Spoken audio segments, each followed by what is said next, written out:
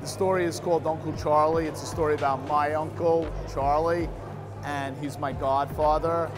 And for the last 30 years, I documented him and his family and everything they went through. Sadly, my Uncle Charlie's mentally ill um, but he also comes from a background of where my grandfather was like a Jewish gangster, and unfortunately, Charlie couldn't get out of that life, and the life sort of overwhelmed him. And I think no matter where you go in the world, everybody comes from a family, and even though it, we're in a very different culture, I would hope that people could look at it and reflect on what makes their family.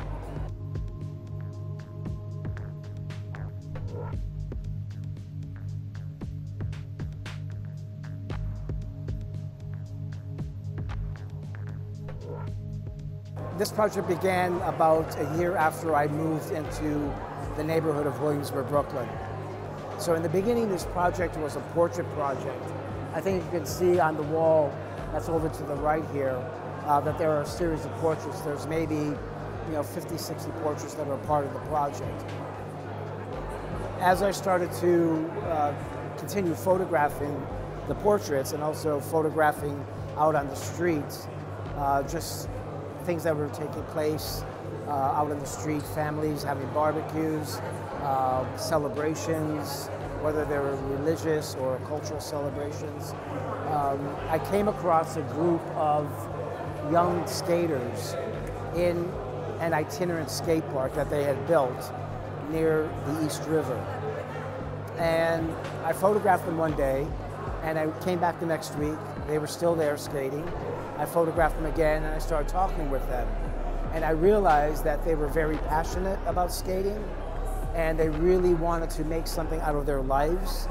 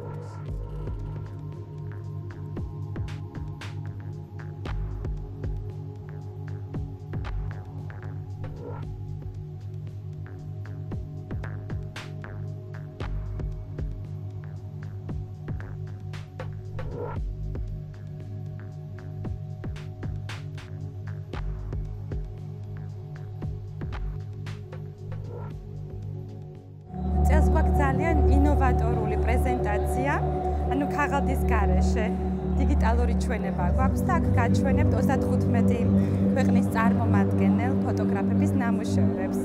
ქართველ, ბრიტანელ, ინგლისელ, აზიიდან სხვადასხვა ფოტოგრაფები, რომლებიც თავის ნამუშევრებს უკვე მერამდენჯერ აგზავნიან კოლგას ფოტოფესტივალზე.